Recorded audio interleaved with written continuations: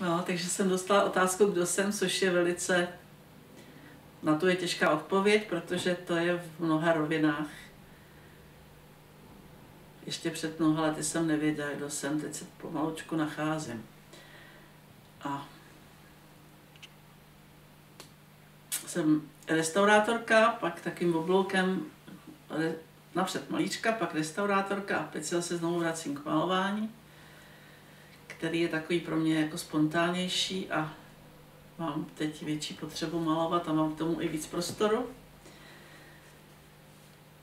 A vzhledem k tomu, že, že ten život je takový jako velký oblouk a já už jsem za tím, za tím vrcholem toho oblouku už tak jako klesám pomalu, tak se trošku snažím dostávat do ticha, mám potřebu většího ticha. Třeba na rada chodím na vernisáže, protože je to taková davová taková davovka a těm já se trošku vyhejbám, pokud můžu. Radši jsem sama. No.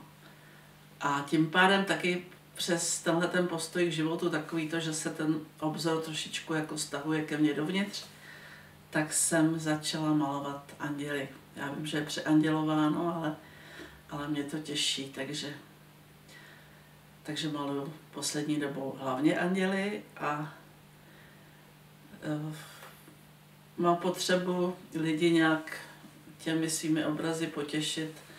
Ne je vyděsit, ale spíše jako pohladit a sklidnit a, a potěšit. A to je všechno.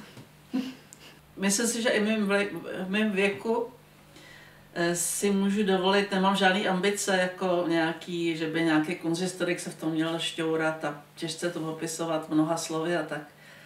A myslím si, že si můžu dopřát eh, svobodu projevu absolutní, i když to je někdy těžký, protože člověk přece jenom taková ta auto cenzura přece jenom pracuje.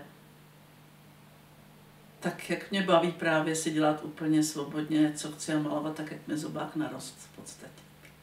No je to takový kliše, jako od malinka, ale já jsem opravdu, co jsem udržela tušku, tak jsem kreslila a malovala, takže jsem jako jedno z mála dětí věděla, čím chci být, až budu větší, takže jsem tak postupně postupovala. Vymetala jsem všelijaký lidušky a pak střední výtvarnou školu na Holárově náměstí. No a pak jsem se dostala na akademii a to jsem dělala přijímačky napřed na Malbu, kde mě nevzali, tam byla velká konkurence, ale vzali mě na restaurování, takže jsem se stala restaurátorkou. A ta profese mě moc těšila, ale teď už zase jako i pomalonku jako opouštím a víc mě baví to mohla. A teď, mým, teď v mém věku prostě mám chuť dělat jenom to, co mě baví, víceméně. Takže si to dopřávám.